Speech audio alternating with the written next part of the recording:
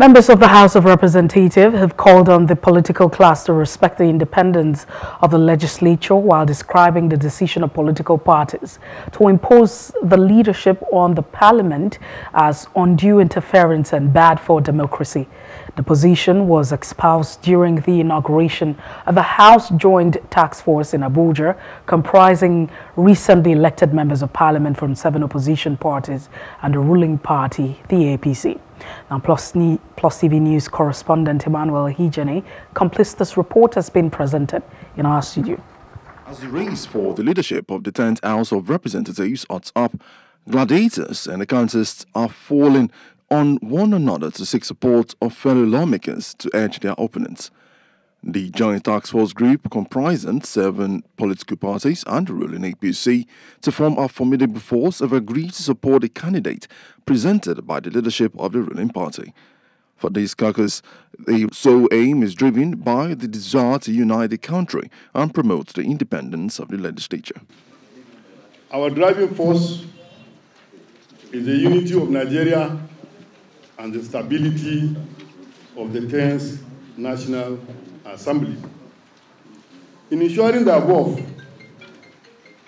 we have resolved to go by the decision of the majority party, which is the APC, in deciding which zone produces the Speaker and the Deputy Speaker.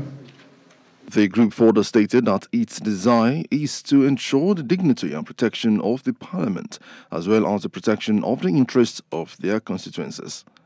As I said, let me repeat, it is a combination of erudite, responsible, and responsive members-elect who believe in the Pan-Nigerian project that will bring ourselves together to ensure the right thing is done, and we usher in credible, responsible, capable presiding officers to lead the 10th National Assembly National Assembly House of Representatives will be a house of the Nigerian people.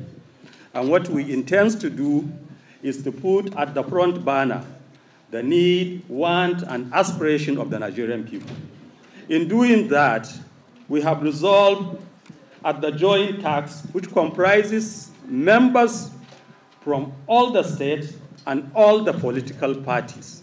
What we intend to do, God willing, is to bring a harmonious working relationship between the executive and members of the National Assembly. The speakership race will finally be decided on the 13th of June when the 10th National Assembly will be fully. Hello, hope you enjoyed the news. Please do subscribe to our YouTube channel and don't forget to hit the notification button so you get notified about fresh news updates.